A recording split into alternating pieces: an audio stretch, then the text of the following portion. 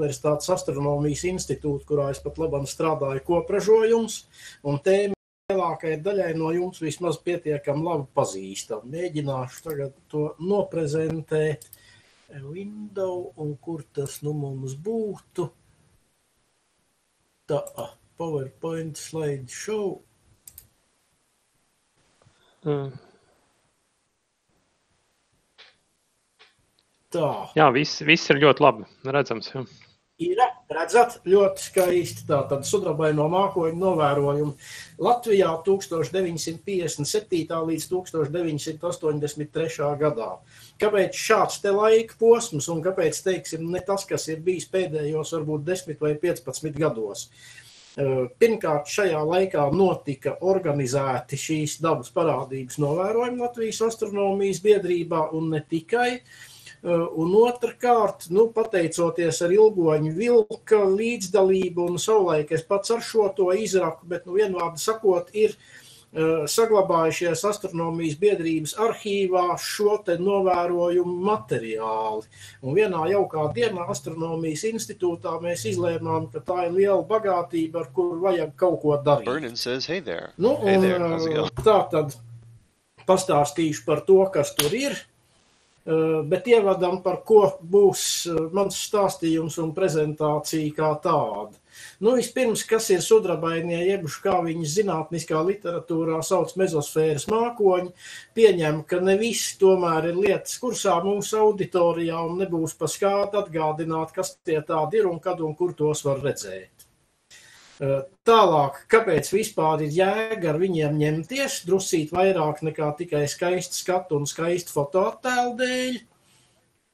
Un arī tos apskatīsim tos vizuālās un fotogrāfiskās novērošanas metodiskos pamatus, pēc kādiem ir agrākos laikos strādāts sākot no ģeofiziskā gada un patiesībā līdz pat šai baltai dienai. Nu un tālāk jau detalizētāk par tēmu, kas tad tolaik Latvijā notika, un nobeigumā, kas notiek Latvijā pat labam. Tātad kāds liktenis šiem te materiāliem, un, un kur mēs saskatām šī te darba jēgu un iespējamu turpinājumu.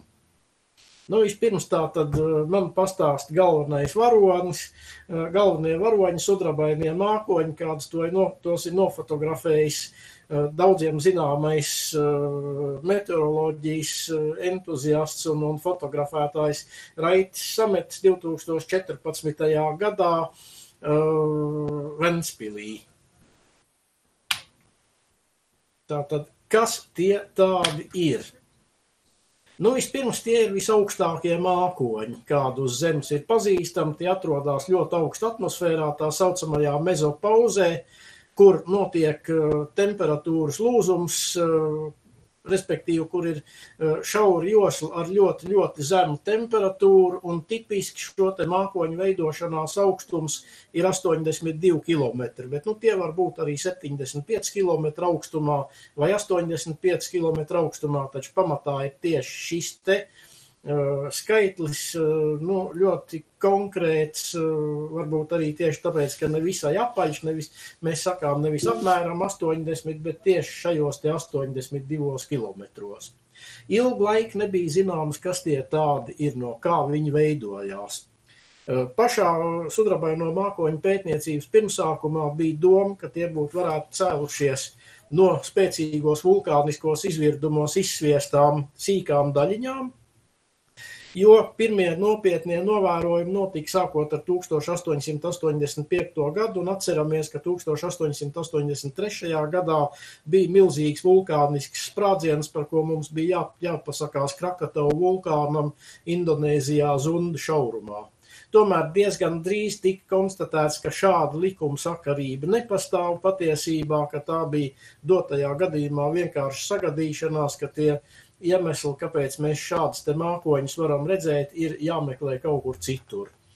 Nu, un faktiski uz šo brīdi, gribu teikt, pat nevaldošā hipotēze, bet jau diezgan apstiprināta teorija, konstatēti fakti, ir tādi, ka šie te mākoņi, gluži tāpat kā parasti augstie spalvu mākoņi, sastāv no sīkiem ledus kristāliņiem, kas kondensējās ap kādu cietu kodolu, un visbiežāk tās varētu būt atmosfērā sadegušo meteoru daļiņas. Īpatnēji sudrabainiem mākoņiem ir tas, ka līdz šim vismaz, kāpēc es saku, līdz šim to redzēsiet vēlāk, līdz šim ir bijis tā, ka tie ir visbiežāk novēroti diezgan augstos platuma grādos, 55 līdz 60, nu varbūt 70 grādi, kā ziemeļu tā dienvidu platuma. Līdz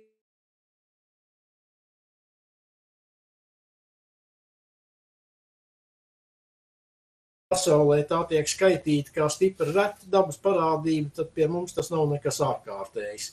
Nu, un vasaras naktīs, tad, kad saule ir zem horizontu un apspīd šos atmosfēras slāņus, kas atrodas šeit 80 plus mīnus 5 km augstumā. Pirmie novērojumi izrādās, ka ir bijuši jau ap 1840. gadu literatūrā tie ir aprakstīti un tiem ir pat veltīts arī mūsdienu publikācijas, kurās ir pierādīts, ka tie patiešām ir bijuši sudrabaino mākoņu novērojumi, bet, kā es iepriekš jau pieminēju, tādi sistemātiski novērojumi ir sākti pēc 1885. gada, kad tie ir acīm redzot bijuši ļoti spoži, un tos ir ievērojuši kā astronomi, tā ne astronomi. Uh, uz šo brīdi gan ir izstrādāts pietiekami daudz dažādas teorijas, bet tādas īsti apmierinoša mehānisma, kas mums ļautu prognozēt, kad šie mākoņi parādīsies un kad nē, uh, tomēr vēl nav. Tāpēc ir ļoti liela nozīme sistemātiskiem novērojumiem, pietiekami labos laika apstākļos. Uh, nu, kā saka, neraugoties uz to, vai mēs iepriekšējā naktī esam šos mākoņus redzējuši vai nē. Šeit sudrabaino mākoņu nos, redzamības nosacījumi ģeometriskā formā, ja tā var izteikties. Šis, šī bilde ir zīmēta publikācijai, tāpēc viņi ir angļu valodā. Tātad, ko mēs šeit redzam? Mēs šeit redzam zemes virsmu, kursoru redzat, jā. Tātad zemes virsmu, kaut kādu sfēru, kas ietver zemes virsmu. It, it kā nav redzams kursors. Redzams kursors. Nu, mēģināšu tad tāpat tāds izskaidrot arī. Tātad otra ar zilo līniju ir mezosfēras mākoņi, šis te tipiskais augstums no, no aptuveni šie te 82 km horizontālā līnija horizonts.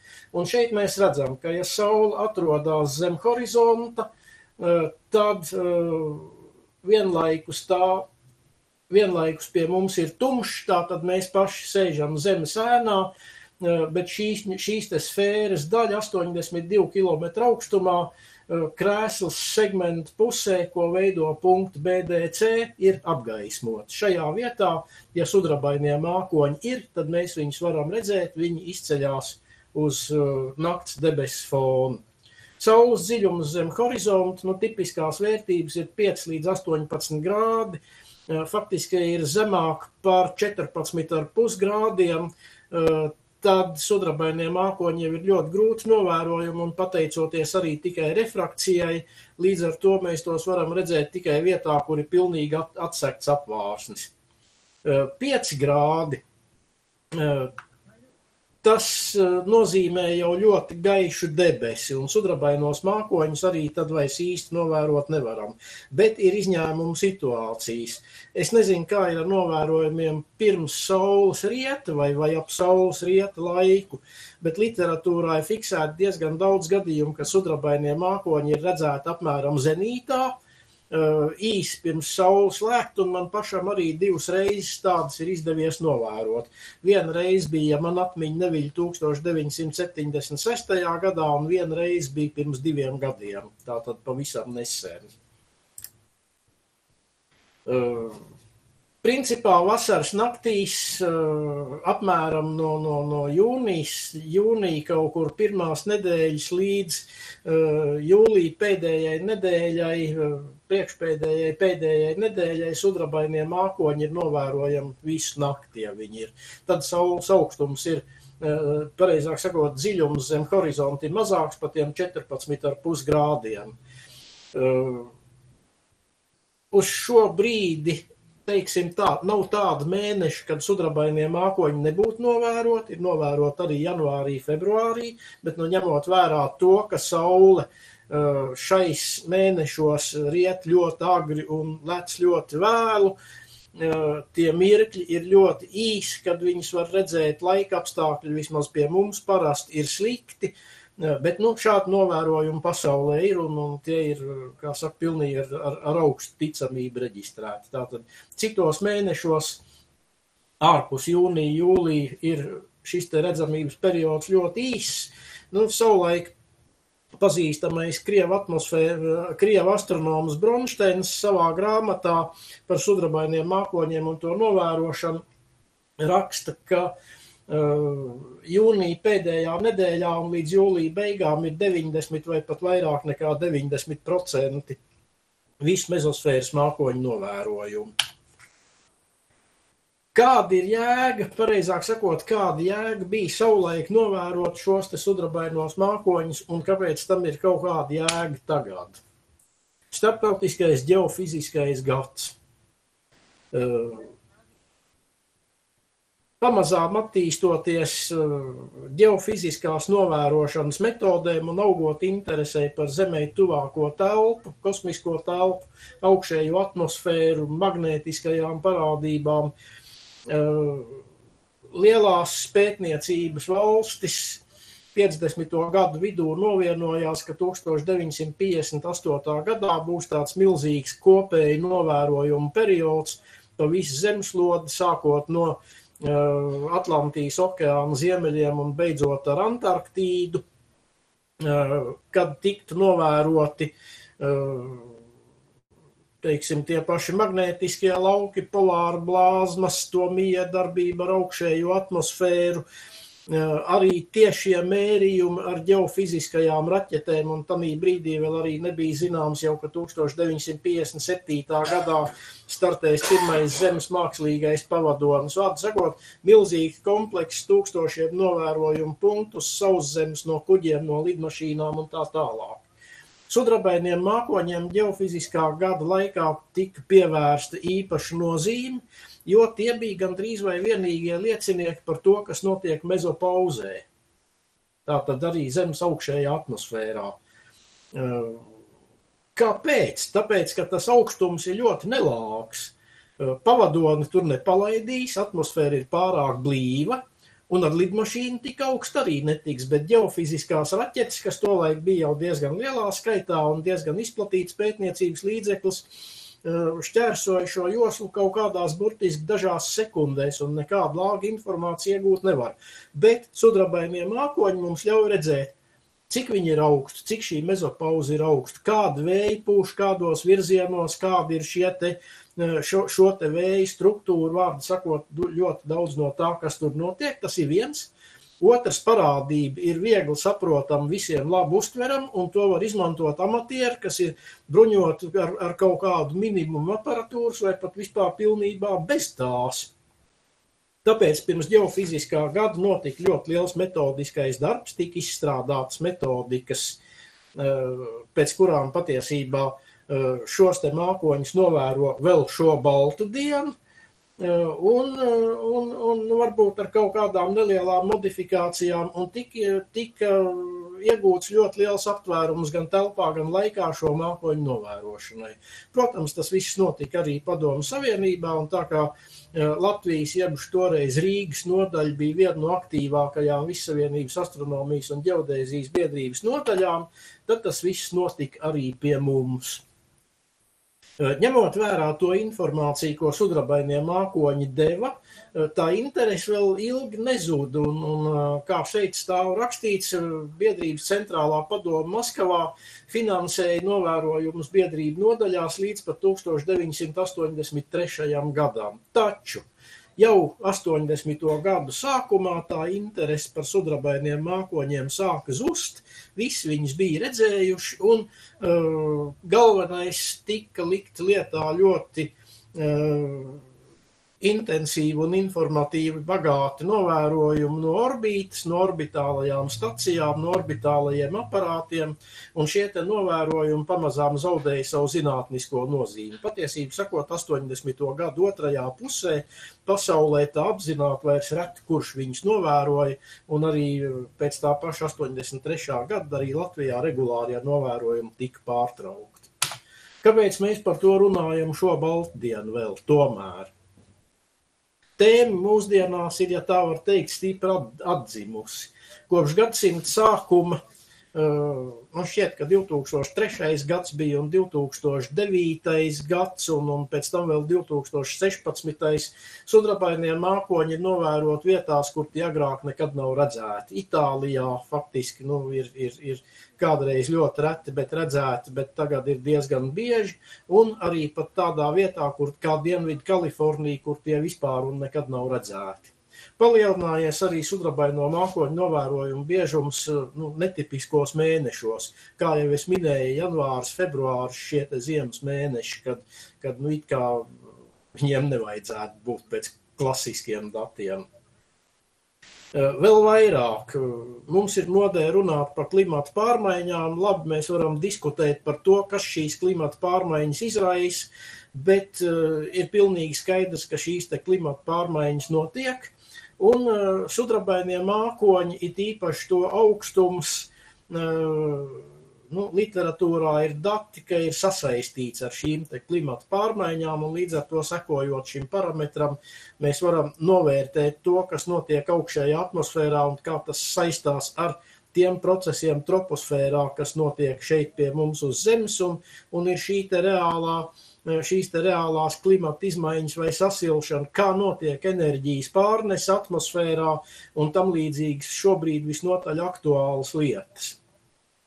Tāpēc ir no jauna radusies pietiekami nopietna interese tieši par, par statistiski bagātiem sudrabaino mākoņu novērojumiem. Uh, Un tā skaitā arī agrāko gadu novērojumiem, ko tad viņi mums parāda, nu, veicot šiem novērojumiem, varbūt tādas analīzes, kādas agrāk nav veiktas. Eh, pirmkārt, ir eh, mezosfēras mākoņu novērošanas vietne, ko uztur amatieri. Tas ir tā, ir, kā saka, tīri brīvprātīga organizācija, kur var katrs iesūtīt savus novērojumu datus. Tur varbūt pat nav pēc kaut kādas stingras metodikas jāturās arī, bet no otras puses viņi iesaka metodiku, ko uztur Startautiskā meteoroloģijas savienība. Es ceru, ka es pareizi nosaucu organizācijas nosaukumu. Ja, ja nē, tad, tad kāds var čatā man palabot. Un otrkārt, šī metodika ir bāzēta uz tās metodikas, kas savulaik tika izstrādāta starptautiskā geofiziskā gadā, tas ļoti patīkami nozīmē to, ka, ja mēs pēc šīs metodikas novērojam sudrabainos mākoņus šodien, tad iegūtie rezultāti ir salīdzināmi ar tiem, kas notika 1958. gadā. Eh, ir arī eh, vairāk vai mazāk profesionāli projekti šim nolūkam. Piemēram, ir tāds projekts POSUM, kas balstās uz amatieru novērojumu tīklu un, eh, un, un, un, un faktiski sasinhronizē šos novērojumus gan ar augstlidojumu aparātiem, gan ar starptautiskās kosmiskās stacijas ietvaros veiktām novērošanas programmām. Tā tad nu, ļoti, ļoti nopietna programma. Kāda tad ir šī metodika, kas ir izdzīvojusi nu, jau turpat 70 gadus? Vispirms, ja ņem vērā to, ka meteoroloģiskie apstākļi mums viennozīmīgi nosaka, vai mēs šos mākoņus vispār varēsim redzēt vai nevarēsim redzēt, tas ir viens apstākļus, un otrs uh, ir tāds, ka nu, mēs meklējam arī iespējamās saistības starp sudrabaino mākoņu parādīšanos un morfoloģiju un to, kas notiek šeit, eh, šeit troposfērā, eh, tad fiksē eh, arī troposfēras parādības. Nu, vispirms kopējo mākoņainību fiksē, Tad zemo un vidējo tumšo mākoņu sekto debesu daļu, kas mums garantēta izsedz mezosfēras mākoņus, Un pa cik novērojumi notiek krēslas segmentā, tad krēslas segmenta, tā teikt, skaidrības novērojums. Šis te ir ļoti svarīgs, ne tāpēc vien, ka, tie, ka, ka krēslas segmentā mezosfēras mākoņi tiek aizsekti, bet arī tāpēc, ka kontrasta efekta dēļ mums var rasties tā sauktie viltus novērojumi.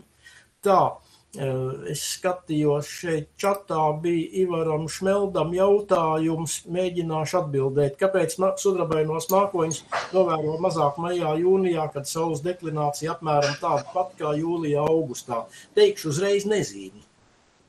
Kā jau es minēju, nav līdz šim brīdim apmierinošu prognožu mehānismu, kas ļautu paredzēt, kad sudrabainie mākoņi radīsies. Nu, godīgi sakot, man pat īsti minējumu nav. Kaut gan, kaut gan jautājums patiešām ir vietā.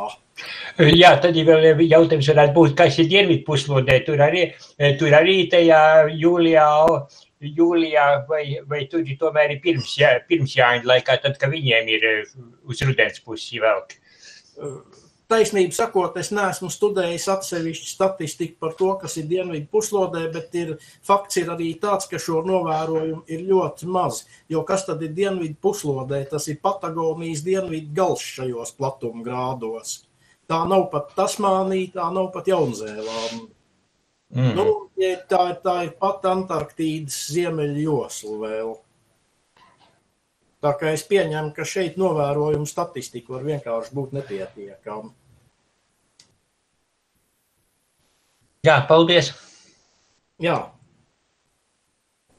Tā, vēl par meteoroloģiskiem apstākļiem. Katras pilnas stundas sākumā tiek mērīta gaisa temperatūra un novērojama sesijas sākumā un beigās atmosfēras spiediens. Uh, Savulaik Matīs Dīriķis ir izteicis uh, domu, ka viņuprāt pastāv sakarība uh, starp anticiklonisku laika iestāšanos un sudrabaino mākoņu novērošanas nu, pozitīvu prognozi. Bet skatoties šobrīd to, ko es redzu šais novērojumu žurnālos, man rodās iespējas, ka tas ir vienkārši tāpēc, ka tad ir labāks laiks un, un, un dziļākas statistiskas sakarības tur varētu arī nebūt.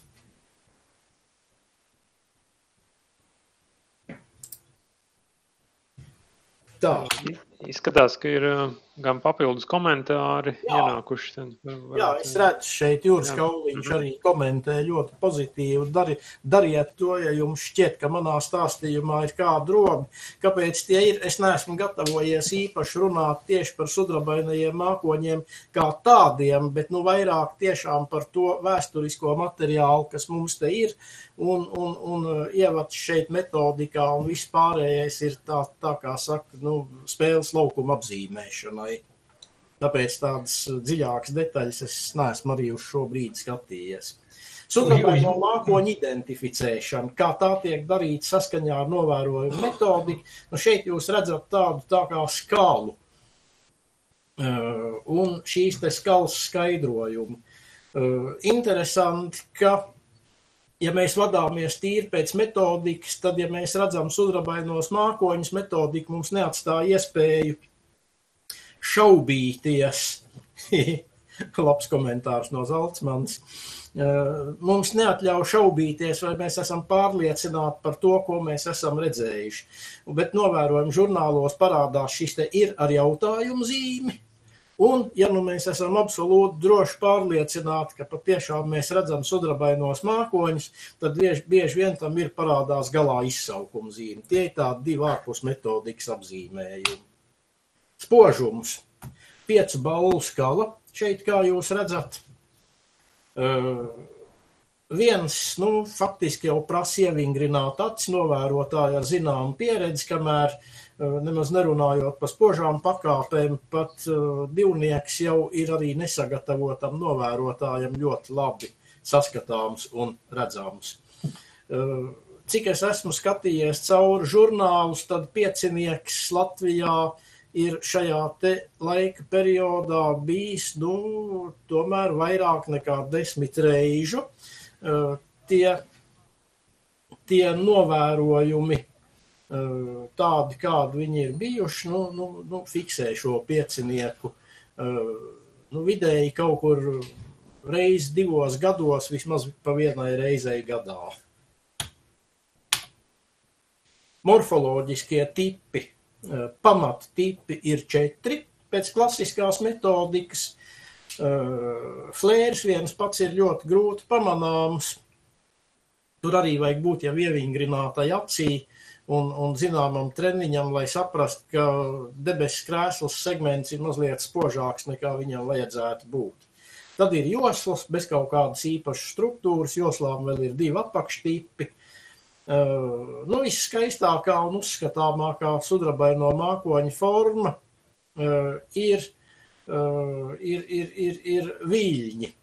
Viļņi mazliet atšķirās traktējums vecajā un jaunajā metodikā, bet tomēr nebūtiski. Bet tad, kad mēs ieraugām krēslas segmentā tādus sīkus vilnīšus, nu, tad ir diezgan droši, ka mēs redzam sudrabainos mākoņus, jo augstajiem spalvu mākoņiem tik sīks un, un, un, un smalki strukturētas formas nemēdz būt. Nu, un pēdējā forma, kas ir, kas ir diezgan reta, ir virpuļi virpuļu trūklas, tādu veidojumu. Šīs te četras pamatformas ir pēc vecās metodikas. Jaunajā metodikā arī viņas ir. Drusku ir mainīti apakštipi, un jaunā metodika ir papildināta vēl ar, ar trim tipiem, kas faktiski ir šo te klasisko tipu kombinācija. Tā atbild uz ilgoņa jautājumu. Kas Latvijā notika šajā laika periodā no 1957. līdz 83. gadam? Vispirms, kur novēroja, kur atradās novērojumu stacijas? Uh, Latvijā novēroja sudrabainos mākoņus četros punktos - Rīgā, Baldonē, Siguldā un Lielaucē. Novērojumi visilgāk notika Rīgā, un, protams, daudziem mums ir zināms arī, ka Siguldā tieši visu Sigulda aptver visu šo laika periodu. Lielaucē un Baldonē gan tas bija tikai starptautiskā ģeofiziskā gada laikā. Lielaucē novērošanas punktu uzturēja lauksaimniecības universitātes ģeodēzisti. Nu, Baldonē mēs zinām, kas atrodas tur ar, ar turienes spēkiem, tas tika darīts. Rīgā arī tā tad astronomijas biedrība, un Rīgā secīgi šie novērojumi notika trīs punktos. Visvecākais punkts bija Valdemāra, jeb bijušās Gorka ielas 34. numura sešstāvu mājas jumta platformu.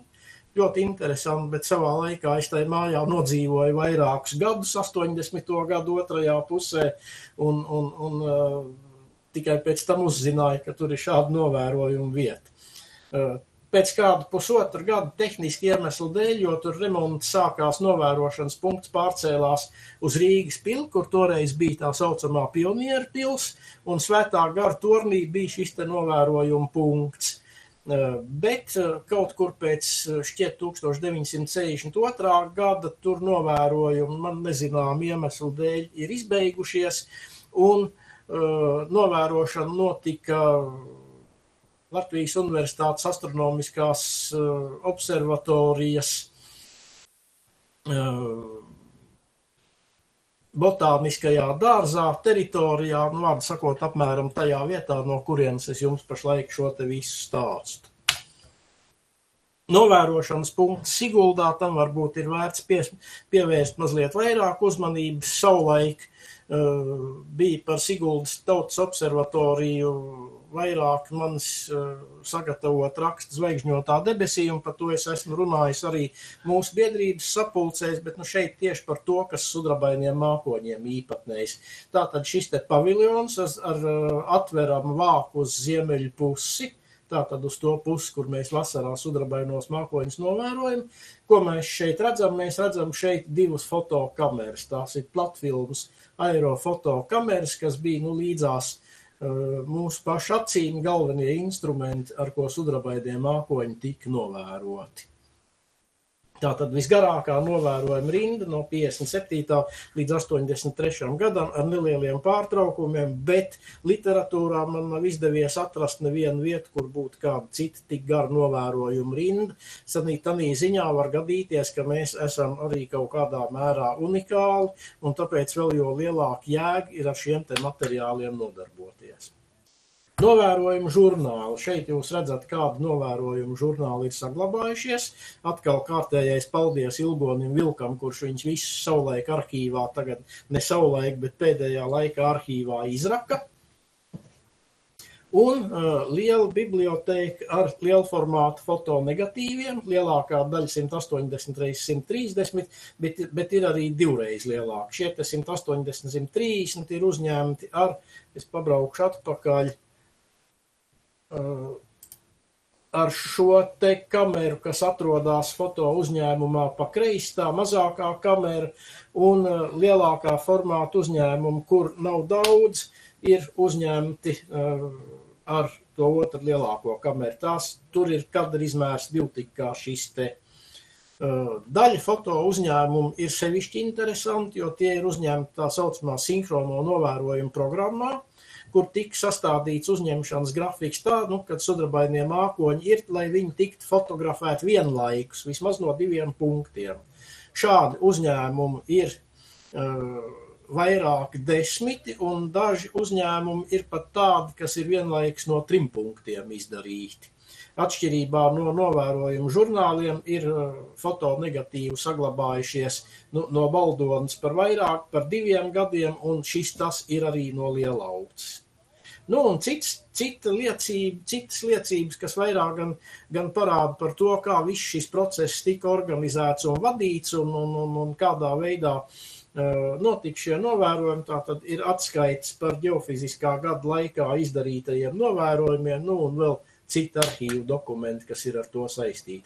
Šeit jūs redzat novērojumu žurnālu atvērumu, kur ir uh, naktī, foto, naktī uh, nu, pēc, pēc Jāņiem nākamajā naktī konstatēti sudrabainie mākoņi un arī fotografēti ar šo te platformātu kameru. Cita starpā ir ļoti interesanti tāda, tāda sakritība, ka sudrabainie mākoņi, nu tā, varbūt ne, ne ar sevišķi stingru statistiku, bet visbiežāk parādās tieši Jāņa naktī vai vienu nakti pēc tam, un otrs tāds punkts ir uh, 1. jūlija nakts. 1, 2, 3 jūlijas faktiski apmēram šīs trīs dienas.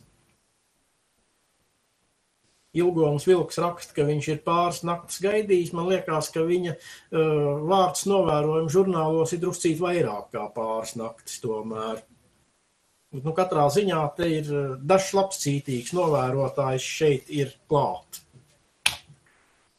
fotogrāfiskā tehnika, tātad platformā fotokamera AFA IM, nevis viens M, bet IM, ar Industar 51 objektīvu, tikai jāatcerās, ka šis te pavisam cits Industar 51 nekā tas, kas savulaik tik lietots sadzīves fototehnikā, piemēram, nu, vecajam Zenītes bija fotoobjektīvs Industar 51, kas izskatījās pavisam citādāk. Šī kamera mums bija mazliet apcirta bez šī elektroda dzinēja, kas piedzēna filmu, filmu pārtina ar roku, un ekspozīciju veids vienkārši ar, ar noņemamu finieru vāciņu. Tā kā ekspozīcijas ilgums ir uh, sekundes un pat līdz divām minūtēm, tad šāds eksponēšanas paņēmiens bija pilnīgi apmierinošs, izņemot tās situācijas, kad eh, novērotājs bija eh, aizmirsis noņemt objektīvu metāla iekšējo vāciņu. Šādi te uh, mazi kuriozi ir novērojumos fiksēti, ka novērotājs ir pusnakti fotografējis un tad attopās, ka vāciņš nav noņemts nemaz šis te iekšējais. Tālūk izskatās foto uzņēmumi foto ar šī arhīvā. Viņi visi ir mapēs pa novērojumu sērijām, pa, pamatā pa novērojumu naktīm, bet ne tikai.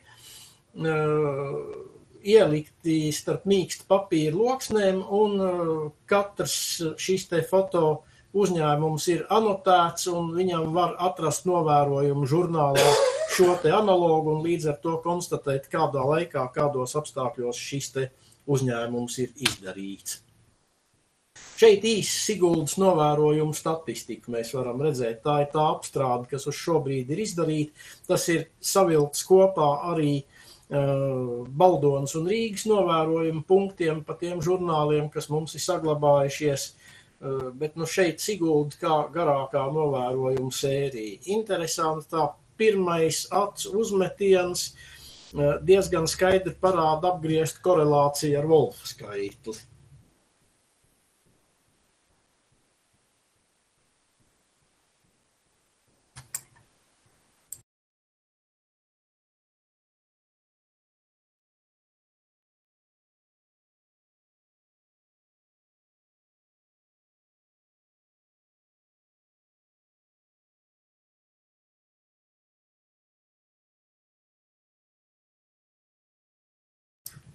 Tā. Domāju, ka jūs esat acis uzmetuši. Eh, jebkurā gadījumā šie dati agri vai vēl būs visiem pieejami.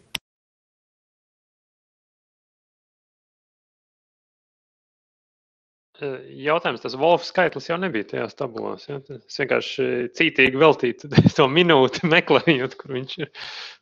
Skaidrs. Okay.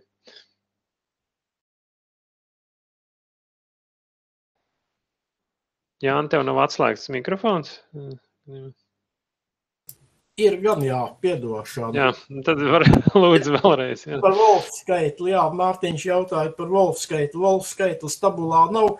Tas ir šobrīd tāds diezgan spekulatīvs konstatējums, vienkārši tā pavirši salīdzinot abas šīs skaitļa rindas, tāpēc viņš šeit nav iekļūvis. Šeit ir tikai tie lielumi, ka, par, par kuriem mēs varam garantēt, ka tie ir pareizi, nu, saka, no šī, šo žurnāla datu apstrādes. Nu, tālāk, kas tad notiek ar to visu Latvijā pat labām un kas ir gaidāms? Arhīvu materiālu digitalizēšana. Šobrīd, nu, kaut kur pa trim ceturdaļām ir savadīta Excel failu formātā nu, visi novērojumu žurnāli, nu, kāda kā ceturtā daļa šobrīd ir palikusi.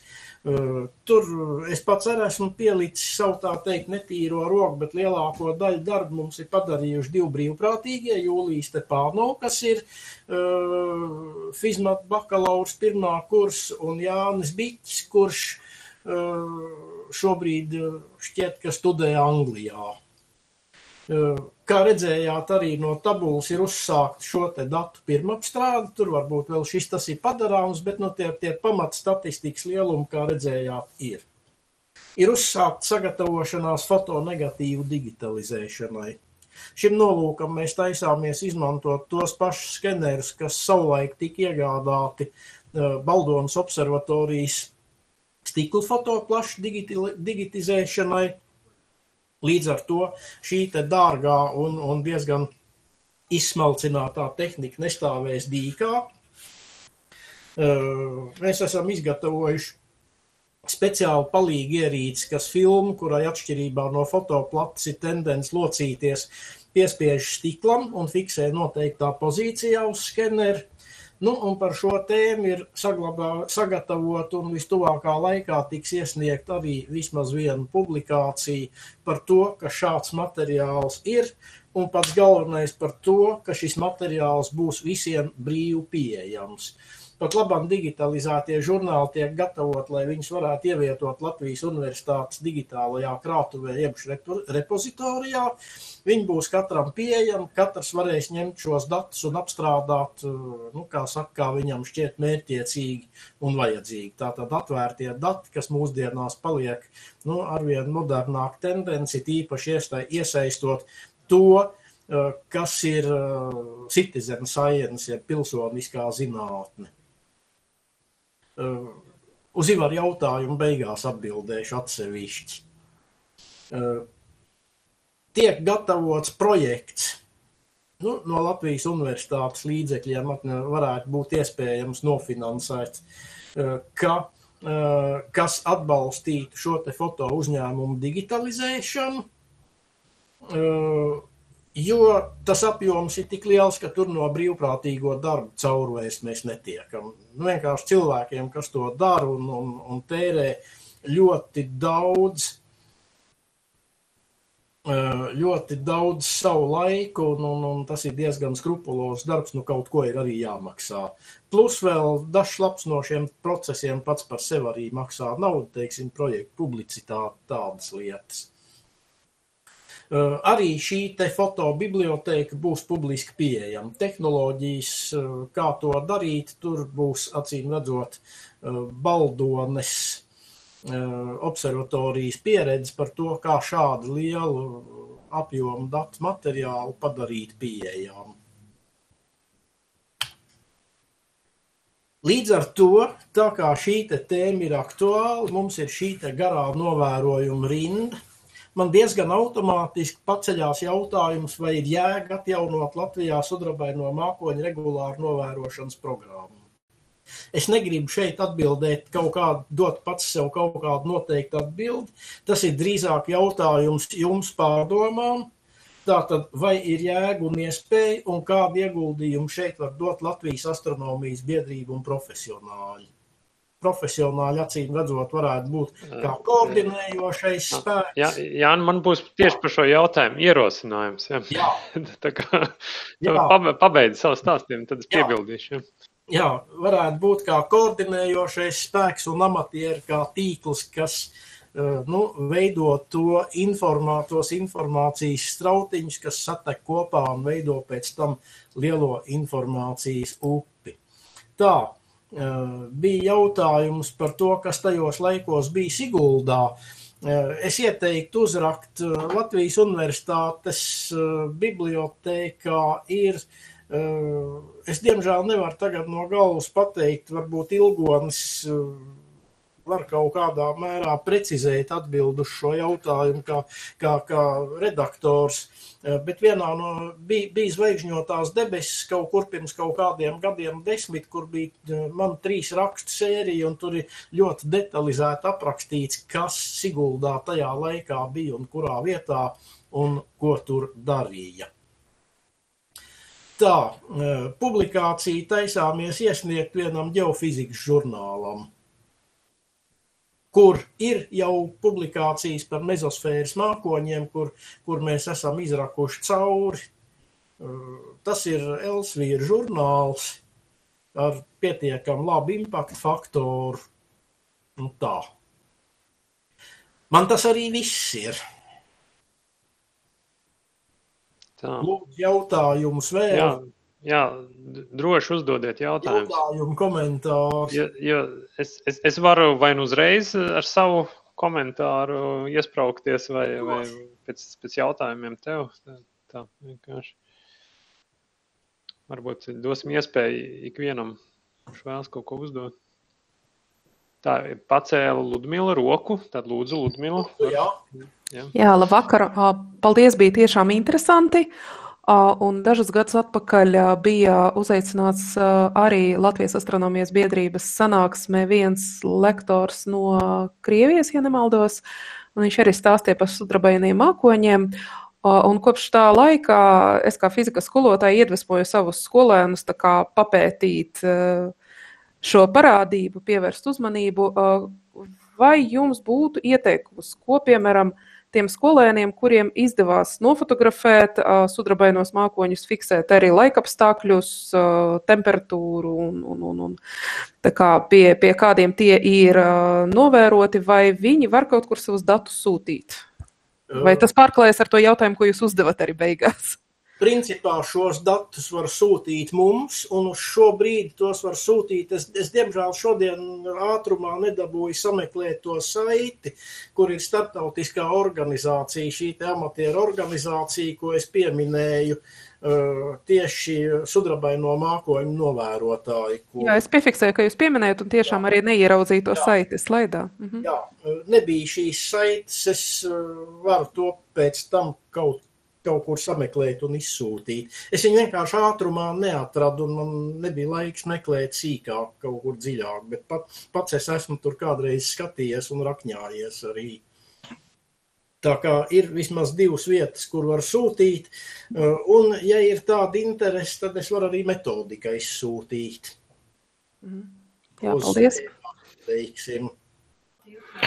Jāni, Adresi mēs atceramies, taču Raiņa iela. Uh, kur Raiņa iela? Siguldas observatorijā. Nē, nē. Ilgons jau rakstīja Lāčplēšu.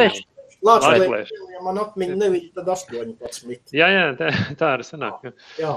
Mhm. Lūdzu, vēl jautājums vai komentārs? Dmitrijs. Jā, man ir jautājums. Um, pēc būtības, vai pilnīgi nav skaidrs, kāpēc, kāpēc tā, tas notiek un nenotiek, un kur tas notiek, un kā tas saistīts ar zemes eh, notikumiem? Ir kaut kādi modeļi, varbūt, kā, kā tas gaiss kustas uz augšu vai uz leju?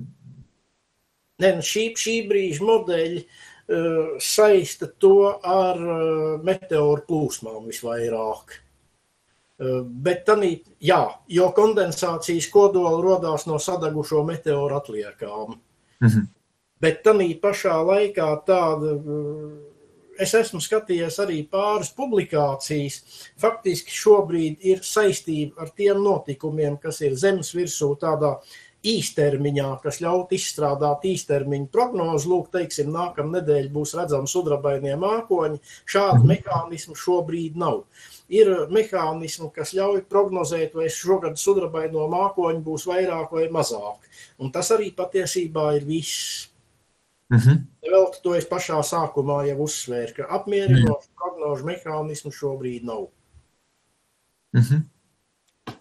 Un tā saistīta, saistīta to sudrabaino mākoņu biežāku parādīšanos ar cilvēku saimnieciskās darbības sekām īsti, īsti tā kā nevar, vai ne? Ne, tieši tāpēc tas ir aktuāli, lai to saprastu. Lai to saprastu, kādā sakarā tas sastāv ar CO2 koncentrāciju, ar, ar apakšējās atmosfēras sasilšanu, un no otras puses ar tiem faktoriem, kas mums iedarbojās uz mezosfēru no kosmiskās telpas, un, un citu starpā šie, šie secinājumi varētu būt nesevišķi glaimojoši tai auditorijas daļai, kas stāv un krīt par to, ka nu, šī globālā sasilšana ir cilvēks lielākais un galvenais grēks. Tāpēc tas ir vēl divi tik interesanti.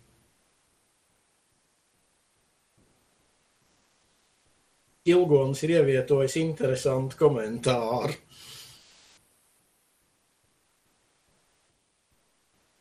Uh, Varbūt arī Ilgons var piebilst. Ah, ok, es tieši gribēju prasīt, no kurienes. Mhm, Jā. skaidrs. Tā, labi. Tā, šobrīd jautājumu nav. Varbūt es var, varētu īsumā uh, pa, pa, pa, pastāstīt, ka, kas radās, kā, kādas dažas tādas tā kā atsevišķu projektu domas uh, saistībā ar uh, ērgļa pasākumu, uh, gatavojoties pagājušā gada augusta ērgļa semināram. Um, ienāca nu, prātā, ka varētu būt tādi divi projekti.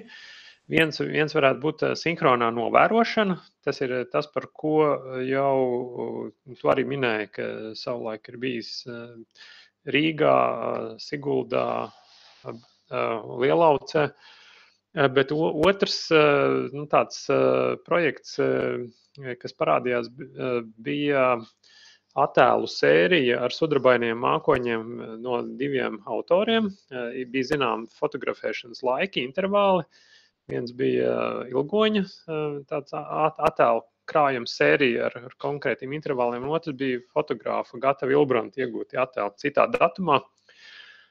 Uh, Pēc uh, attiecīgajiem attēliem bija iespēja identificēt konkrētas uh, spožākās zvaigznes. Bija, bija zināms, kurā virzienā ir vērsta kamera. Un uh, bija iespējams uh, saka, nokalibrēt leņķiski uh, šo attēlu, līdz ar to iegūt leņķiskos izmērus. Un tas interesantais jautājums, uh, tā iecer bija no, novērtēt uh, viļņošanos. Es skatījos, uh, ka arī tajā senajā metodikā bija minēta viļņu raksturojumi, tur bija virpuļi un viļņi. Bet eh, šeit tādos eh, laiklaiciena video eh, ļoti labi redzams, ka notiek eh, nu, tā, tā kā eh, gan viļņu pārvietošanās, gan arī ir vietas, kas parādās un pazūd. Nu, ir vairāka veida tās parādības, un ir kaut kas tāds, kas tā šķērsām vēl pāriet pāri. Tur var redzēt, ir gan kaut kādas gaisa plūsmas, gan arī nu, izskatās pēc kaut kādiem akustiskiem efektiem. Ja, kad, kaut kāda ska, nu, kā, zinies, varbūt skaņas triecienu vilnis vai kas pārvietojas. Nu, tur, tur, tur ir vērts papētīt. Un man jautājums, Jāni, vai, vai tas uh, arī savulaik ir pētīts, uh, šāda lieta, vai, vai tu esi sastapies ar tādu lietu kā uh, tieši sudrabaino mākoņu viļņu struktūru izpēti. Un, un te, te vienkārši arī interesanti būtu saprast, cik tas vilnis ir liels fiziski. Nu, kāds ir viļņa garums uh, kilometros, pie, piemēram, ja? Ja, ja tas ir tāds svārstību vilnis. Ja. Nu, zinot cik mākoņi ir augsti, nav grūti izrēķināt, cik tas vilnis ir liels. Tā. Tur ir uh, daži simt metri Tā, līdz kilometram. Uh, tas ir viens. Otrs, nu, uh, agrāk šāda veida dinamikas mērījumi. Uh, Jā, bet, bet vai tādi ir veikti uh, viņi, pētījumi? Jo... Par mākoņu morfoloģiskām formām praktiski pētījumi nav veikti statistika nav. Tas, es domāju, varētu būt viens no pirmajiem darbiem, ko varētu, teiksim, kāds bakalaura students izstrādāt, proti izpētīt, nu, kaut vai uh, morfoloģisko formu statistiku. Šādu pētījumu agrāk nav veikta. Kas tika darīts agrāk? Agrāk tika novērtēts tātad no sinhroniem novērojumiem sudrabaino mākoņu uh, augstums, Nu, un tad arī no atsevišķiem novērojumiem, kas ir uzņemti foto, fotografijas ar, ar, ar kaut kādu pietiekami nelielu laika intervālu, uh, ir novērtēts uh, šo te konkrēto kaut kādu detaļu kustības ātrums. Ja ņem vērā, ka mūsdienās ir praktiski katram pieejama tehnika, ar kur mēs varam uzņemt ļoti iespaidīgus šādus te uh, laikā izvērstus video, varētu teikt, Eh, ar kuriem, nu, kuros ir daudz ērtāk iespējams veikt arī šādus mērījumus. Nevis kā agrāk, kad tika ar lineālu vai, vai, vai mikrometru mērīt šīs formas un attālumu. Tur, tur katra attēla apstrāde ilga burtiski stundas, cik var nojaust. Bet mēs to varam ar kaut kādu datoru programmatūru patiesībā jau, jau lielos masīvos paveikt ļoti ātri. Eh, es pieņemu, ka tas varētu būt tas galvenais virziens, pie kā jāstrādā Sinhronie novērojumi tomēr ir pietiekami piņķerīga lieta, kaut gan dod ļoti vērtīgus parametrus, bet uh, šo te dinamiku var mērīt arī atsevišķs novērotājs. Uh, nu, nu jā, tā dinamika ir doma tāda, ka mums varētu būt, uh, nu, nu mums, es domāju, kā biedrībai vai astronomijas interesantiem, uh, vienkārši jāuzkrāj vairākas šādas attēlu sērijas. Nu, kas, kas, kas saka, to jau daudzi dara brīvprātīgi, jo, jo tehnika ļoti labi atļauj veikt nu, tādas sēriju, attēlu sērijas uz vairākām stundām atstāt, lai fotoaparāts tikai turpina to iegūt. Bet otrs ir par, par sinhronu novērojumu. Man, man bija tāds priekšlikums, ka mums ir tāda apziņošanas grupa uh, Vienkārši mēs saulaicīgi varam vienoties, ka pieņemsim, ir kaut kādi konkrēti laika, nu, tādi tā kā robi. Nu, pieņemsim, 23, 30 pusnakts, 1,30. Nu, tādas tā kā apaļās pusstundas. Un, ja mēs redzam, ka kaut kur ir redzami, kaut, kaut kur ir novērojami šie zudrabainie mākoņi, mēs padodam ziņu. Un varbūt šīs grupas dalībnieki atrodas dažādās Latvijas geogrāfiskās vietās. Ar, ar sev pieejamo tehniku var, var veikt šos attēlus, bet tam ir jābūt konkrētā laika posmā. Un, un tad var būt vienkārši vienošanās, ka sākot no tā apaļās pusstundas vai stundas, ar, ar noteiktiem intervāliem veids, pieņemsim, piecu attēlu sēriju, Un, un, un tad tas vienkārši tiek kaut kur likts kaut kādā bāzē. Un tad, eh, ja vismaz ir divi geogrāfiski attāli novērojumi, tad tas jau ir interesanti. Tad var, var kaut ko tur skatīties pret eh, fonā esošām zvaigznēm. Nianses ir tāda, kā jau tu pats atzīmēji, tā mākoņa dinamika ir pietiekami iespaidīga. Līdz ar to, lai mēs varētu korekti iegūt kaut kādus rezultātus no sinhroniem novērojumiem, tiem foto uzņēmumiem ir jābūt uh, sasinhronizētiem nu, kaut kur ne vairāk kā ar 15 sekundžu nobīdi.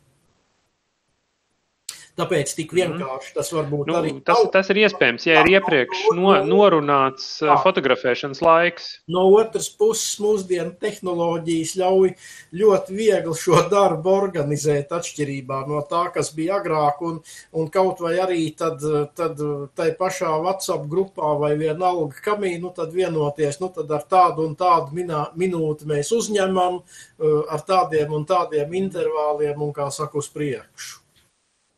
Nu, jā, var, var sakot, es uh, jau tagad izmantoju iespējas, iesaku tiem, kuriem ir interese pieteikties šai WhatsApp grupā. Mums ir tāds debesu notikuma alert, tāda grupa.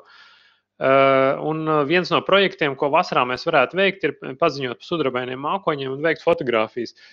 Pagājušā vasarā mēs kaut ko mēģinājām, bet problēma bija tā, ka tomēr ar telefonu fotografējot ir pārāk zema kvalitāte. Nu, tā ka nebija redzams fona spožākās zvaigznes, nu, kuras tomēr vajag, lai būtu atskaites punkti. Ā, Bet ā, visādi citādi dara jebkurā ā, leņķiskā, nu, ar, ar, ar je- fotoobjektīvi un fotoaparātu, ar jebkuru leņķisko skatu vai, vai arī jutību arī var būt diezgan plašā diapazonā. Bet nu, tas atskaites punkts tāds, lai redz gan fona zvaigznes, gan arī nu, pašu to mākoņu struktūras ir saskatāms. Un uh, precīzi uh, laika sinhronizācija. Nu, digitālā Tā, tas ir, mēs, mēs vēl par to varam atsevišķi pakomunicēt, bet tagad varam sākt. to procesu arī. Tā ir. Eh, No otras puses, tā pašā laikā, lai mēs varētu runāt par sistemātisku novērojumu rindu, kaut kur vismaz vienā vietā šiem novērojumiem ir jānotiek patiešām katru nakti, kad ir daudz maz piemērots laiks. Pretējā gadījumā mēs nevaram apgalvot, ka šie te novērojumi mums patiešām aptver reāli šo te sudrabaino mākoņu parādīšanās, nu tā teikt, statistiku. Nu, te, te var būt dažādas, tās, eh, dažādi mērķi, eh, ko mēs varam noteikt. Viens ir varbūt ar sinhroniem novērojumiem. Mēs, mēs varam kaut kādu tā kā, fizisko augstumu mēģināt novērtēt. Tas ir nu, tā tīri pēc kaut kāda stereoskopiska varianta. varbūt. Bet eh, otrs ir kaut kāda dinamika un eh, citi parametri. Tad, tad, Novērojami vērtība paši par sevi, jā. Mhm. Tā, labi. Eh, Tad es no savas puses diskusiju beidzu. Vai ir vēl kādi jautājumi Jānim?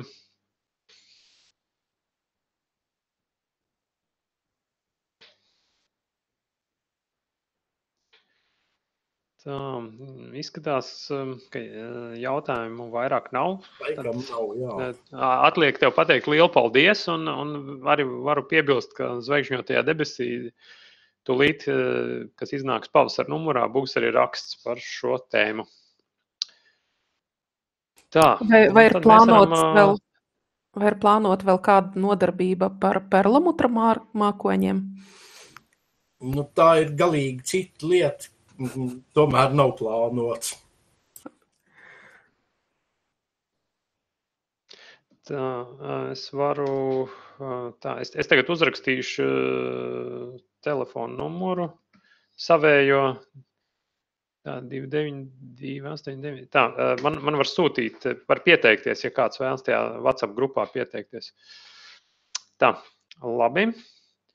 Ā, Tad pa- paldies Jānim un varam pāriet ā, tā uz nākamo dienas kārtības punktu, kas ā, parasti nav izsludināts, bet lielākoties arī tāds ir.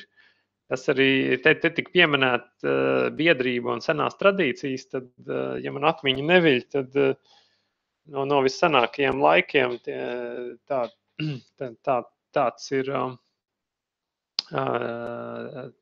tāds dienas kārtības punkts ir bijis, kas saucās dažādi.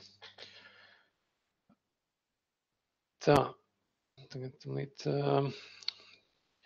Tad šo, šobrīd uh, tieši nu, ši, šis nav dzīvais attēls, bet paņemts uh, īsi pirms uh, biedrības sanāksmes sākuma.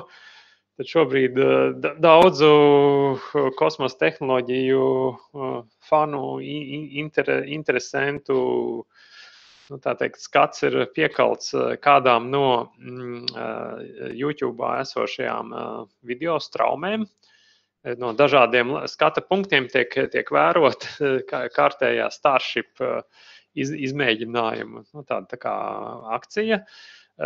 Precīzi starta laiks nav zināms, bet tas var notikt sākot ar dažām tuvākajām minūtēm līdz pat tuvāk, nu, tuvākajiem laika periodiem, kas mērāms kādas plus 10 stundas uz priekšu. Tā kā uh, mēs to precīzi nezinām, tad ir parasti parādās baumas, un tad tur uh, skaita vienreiz, otrreiz to laiku, un tad izrādās, ka vēl nestartē, un tad pavisam atceļ.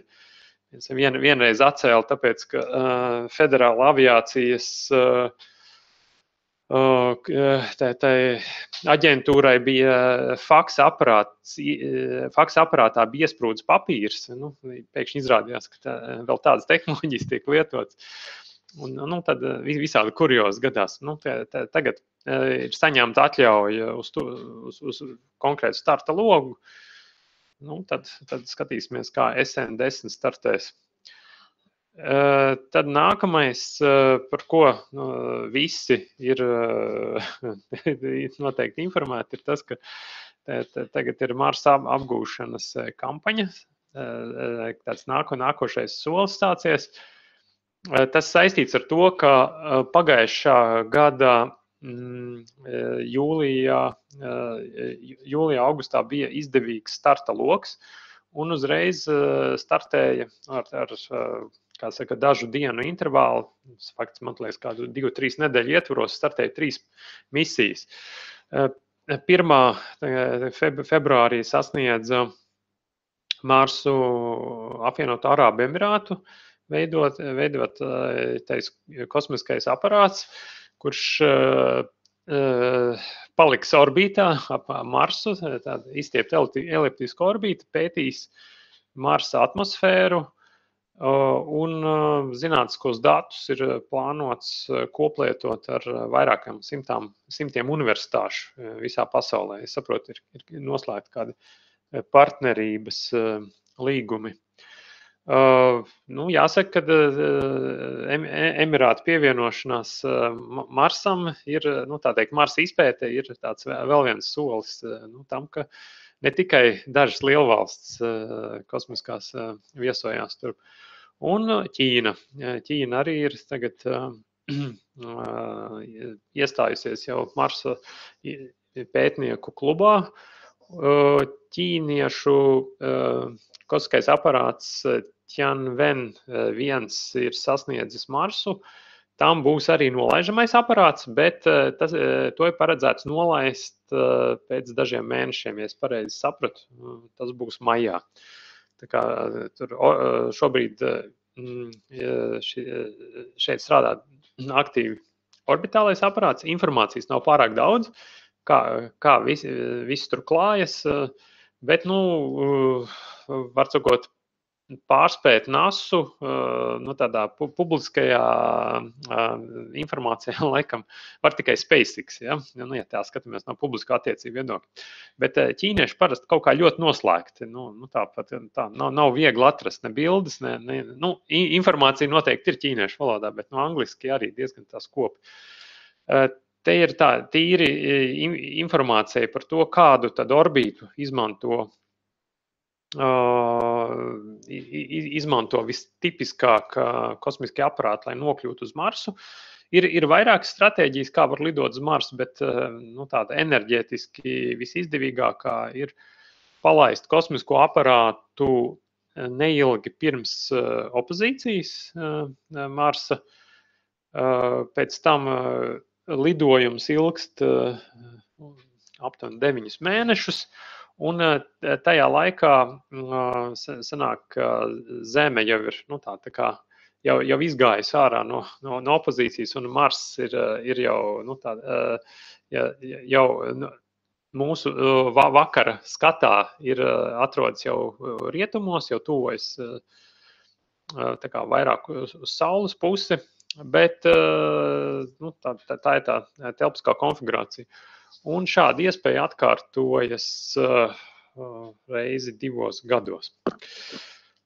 Um, un tad uh, tas, tad, tas lielais troksnis, ap, ka, nu, kur, kur, kur bija piekalta visa pasaules uzmanība, bija kosmiskā aparāta Perseverance nolaišanās. Šis ir tāds mākslinieks skatījums no, no malas, interesanta koncepcija. Uh, ka, tas, ka pēdējos kādos 11, 20 metrus tika akurāti nolaists šie, šis mobilis ar trosēm, un pēc tam tās troses tika strauji nogrieztas. Un, un šīs no, no, nolaišanos nodrošinājušais modulis uh, ar, ar reaktīvo spēku aizlidoja e, nu, kādu kilometru vai viņš tālāk e, attālumā un ar blīkšķi nogāzās e, nu, Zemē vai, kā jāsaka, Marsā nogāzās. Te ir skats no tās platformas, kas, kas, kas laiž lejā, redzamas troses, redzami apgabali, kur um, tiek sacelti putekļi no reaktīviem dzinējiem. Un šeit jau ir eh, viens no ļoti daudzajiem eh, kadriem, kas, kas jau nāk tagad eh, no, no paša Perseverance mobīļa. Tas ir sveiks un vesels, un tagad tūlīt sāks arī veikt pirmos pār, pārbraucienus un geoloģiskos pētījumus. Šis ir skats te, no, no kosmiskā aparāta tā nolaišanās, tā tās platformas no, nolaišanās fāzē, ka vēl ir, bija piestiprināts izpletnes, bet te pa virsmu ir uzlikts, uzlikti tādi burti un skaitļi. Jo man arī vērojot šo video, kas tāds ļoti attraktīvs, jūs paši varat atrast, un man liekas, jā, jo ik viens jau gan ir noskatījies.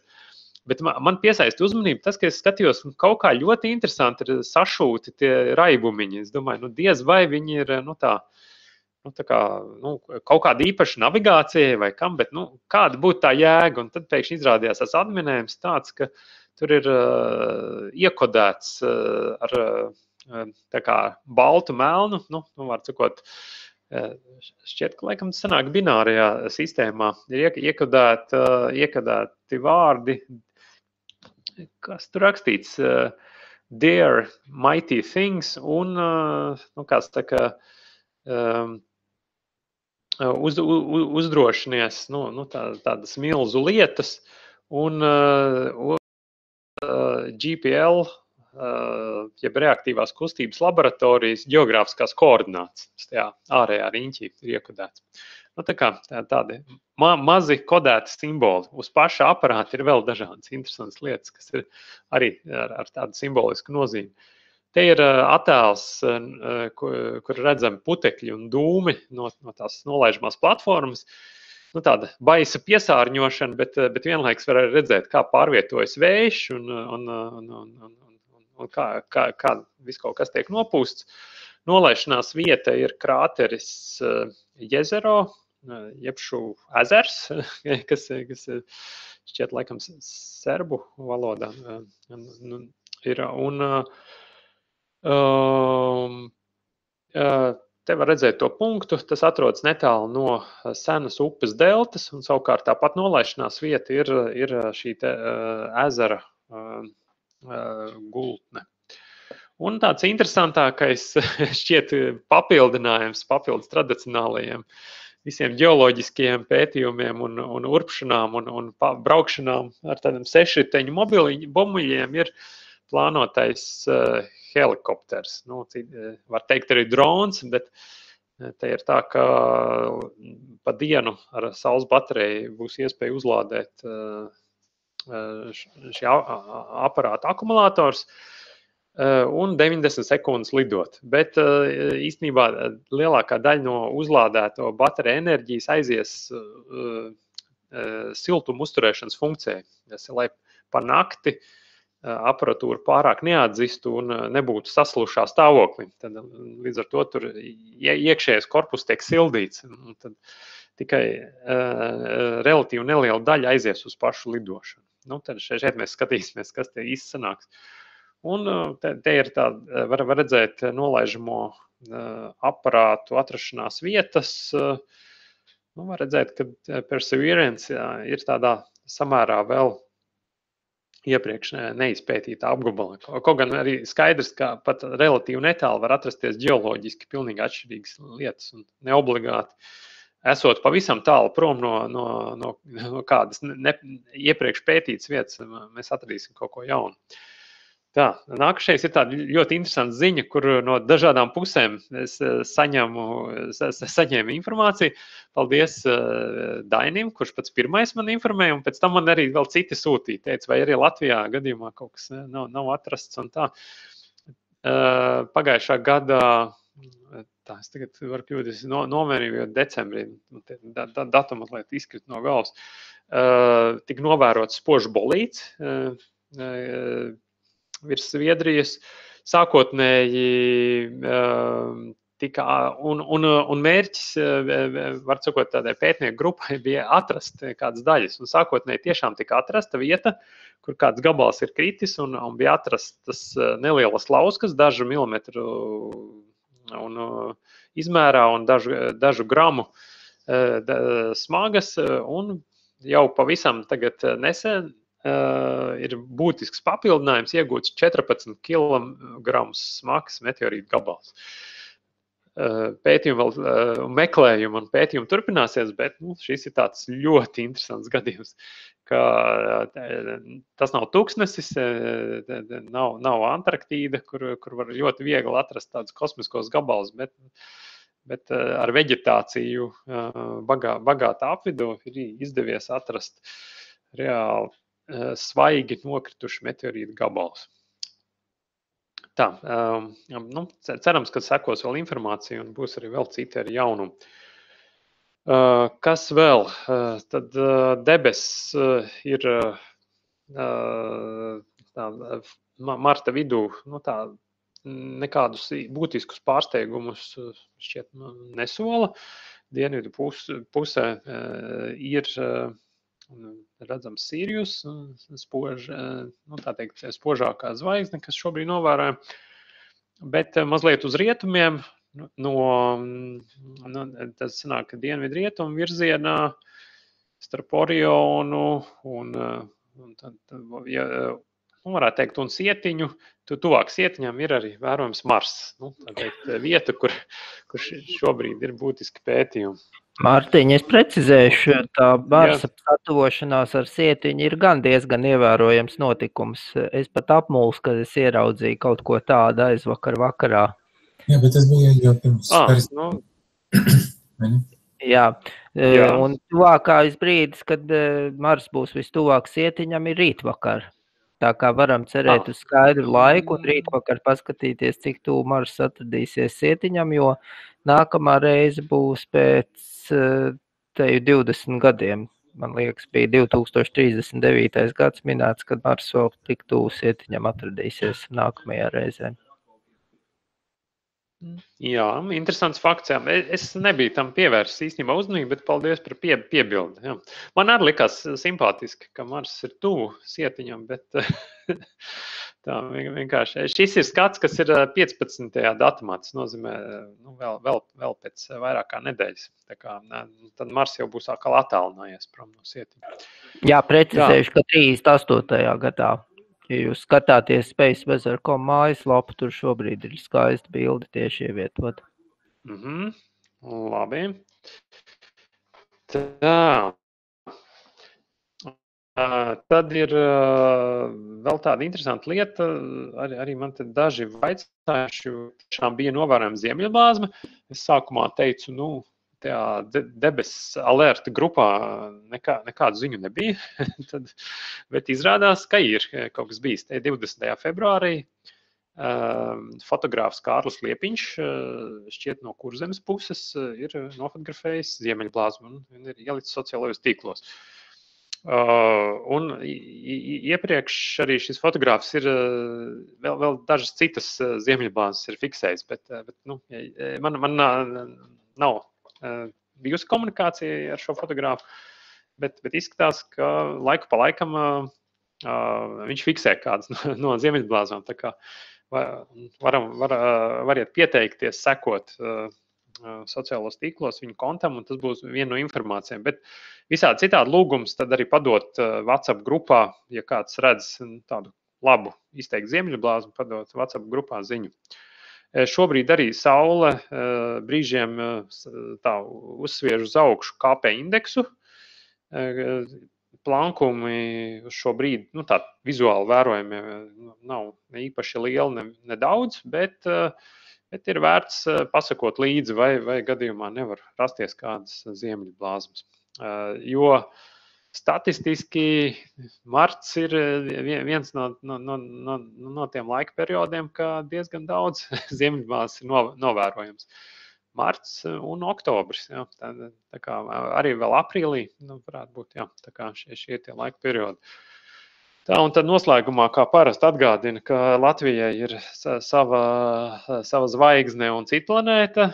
Tad eh, to, to var novērot visu cauru gadu, bet ir vajadzīgs kāds eh, vismaz tālskatis vai fotoaprāts ar, ar ilgāku ekspozīciju.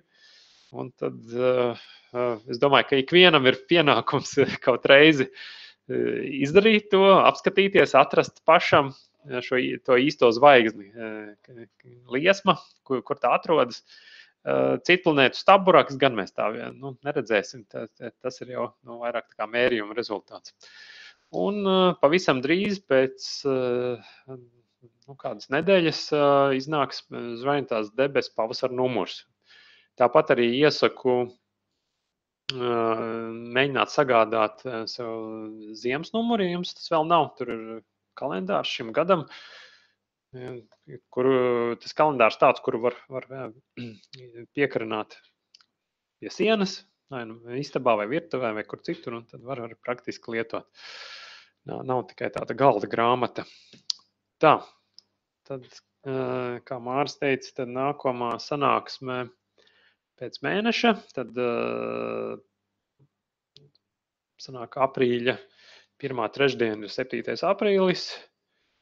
Un turpinām arī novērot debesis. Jo, joprojām tas ir mums jā, jādara individuāli. Tā. Jā. Paldies, tev, Mārtiņ. Es... Pirms mēs atvadāmies, ja tu esi pabeidzis, tad es gribētu palūgt Dmitrijam. Viņš visu laiku mums tur ir attēla augšdaļā mazliet pastāstīt par savu projektu un par tām iespējām, kas tagad ir saistīts ar Dmitriju piedāvātajām lekcijām, ar sarežģītiem un ļoti sarežģītiem astronomijas uzdevumiem. Es domāju, ka tas tiešām ir labs izglītojošs materiāls. Dmitrij, tad varbūt īsumā pastāst lūdzu. Tā, nu es galīgi neesmu sagatavots. Vispirms... Nav jāstāsta par uzdevumiem, tev tikai par to projektu. Jā, šogad negaidīti būs atbalsts no ministrijas dalībai starptautiskā astronomijas un astrofizikas olimpiāda skolēniem. Un sakrā ar to es piedāvāju uzlabot skolēnu zināšanas līmeni, lasot, nolasot vispārīgu kursu, vispārīgu padziļinātu kursu vidusskolai, un arī novadot uzdevumu risināšanas kursu, kas, kas uzlabotu spējas atrisināt specifiskas problēmas, kas, kas rodas astronomijas uzdevumos. Um, pēc īsā laika es ar kolēģiem sapratu, ka vispār pirmais kurs ir noderīgs arī uh, skolotājiem, fizikas un astronomijas, varbūt arī skolotājiem, dabaszinības skolotājiem. Tāpēc tas tika izsludināts, ka vispārīgi uh, izglītojušies kurs, kas, būt no, kas ir atvērts visiem caur uh, EduLV platformu. Ir jāpiereģistrējas, bet tas ir atvērts kurs. Uh, un arī uh, kopā ar Inesu Dudarevu to tagad lasu. Jau bija laikam četras lekcijas. Mēs arī mēģinām aicināt citus lektorus kaut kādiem specifiskiem tematiem. Pagaidām bija Iegonis Ilgs ar lekciju par kosmolotiku vai kosmonautikas stāvokli vai, vai vēsturi. Um, tas noriet, tas izskatās labi, un viss iet uz priekšu. Jā, Agnes pareizi norāda, ka lekcijas var klausīties. Pirmkārt, lekcijas notiek tiešsaistē, jo es nevaru atbraukt uz Rīgu, jebkurā gadījumā. Un otrkārt, visas lekcijas tiek pierakstītas un var noklausīties, apskatīties tās kursa mājaslapā.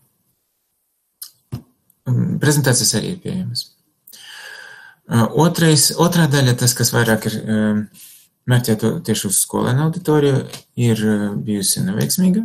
Skolēni nav, darījusi, nav darījuši mājas darbus, un es, es to visu pārtraucu. Nu, neredzu, jo, jo tur ir jāstrādā vairāk viņam nekā man. Un es neredzu, ka kāds kaut, kaut ko dara. Um,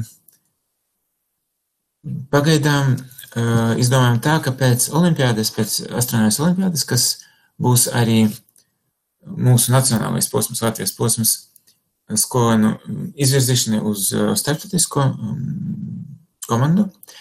Tad arī tiks noteikta komanda, tad arī kaut kā trenēsimies, bet uh, man nešķiet, ka mēs spēsim iziet cauri tam milzīgam materiālam, kam, kam būtu jābūt sagatavotam, kad brauc uz starptautisko, starptautisko olimpiādi.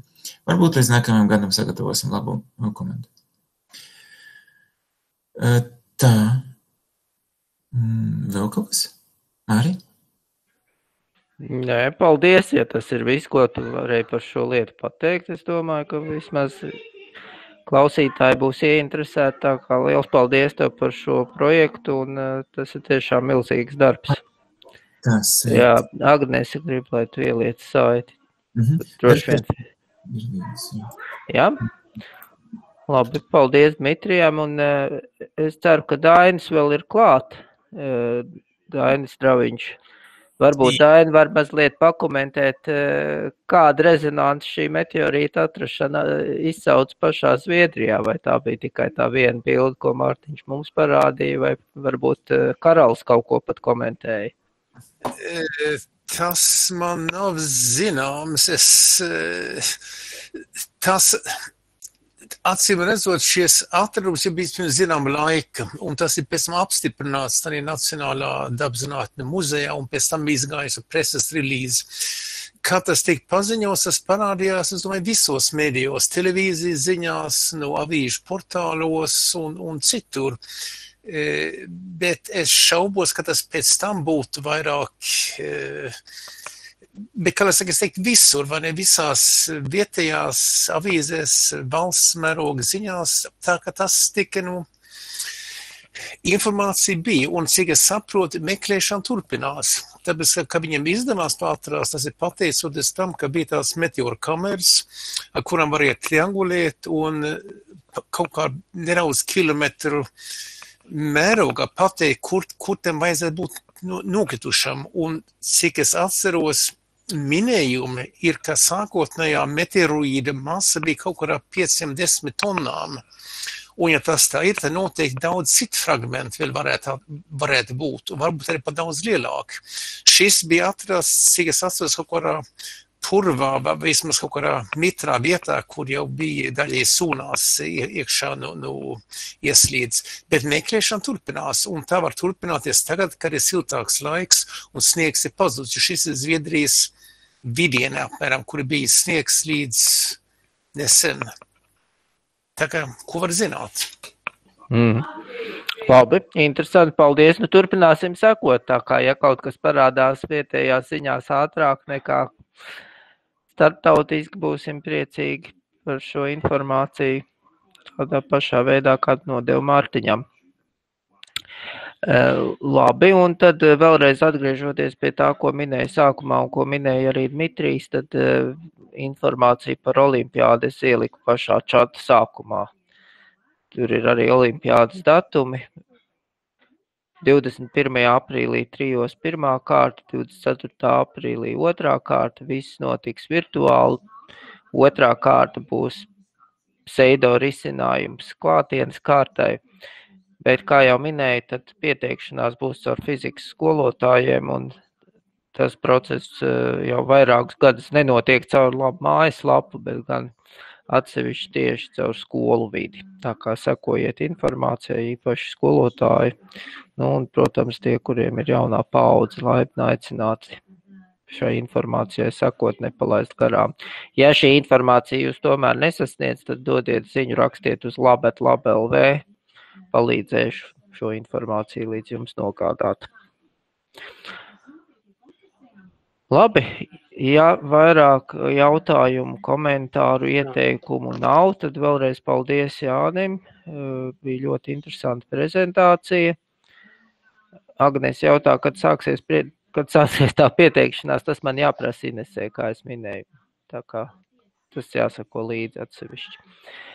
Bet parasti mums piesakās pēdējos gados vairāk nekā simts skolēni. Tas tāds standarts skaitlis, liels apjoms. Un eh, tad eh, aprīlī jau tiksimies par tēmu, ko piedāvās Ilgonis saistībā ar vēsturisku ieskatu pēdējās desmitgades svarīgākajos astronomijas notikumos. Paldies visiem, paldies Jānim vēlreiz un jauku vakaru. Mm, Jā, paldies par piedalīšanos. Tiekamies pēc mēneša. Un uzrakstīja labus vārdus. Visu labu. Jā, visu labu. Paldies. Uz tikšanos. Veiksmīgi. Visu labi.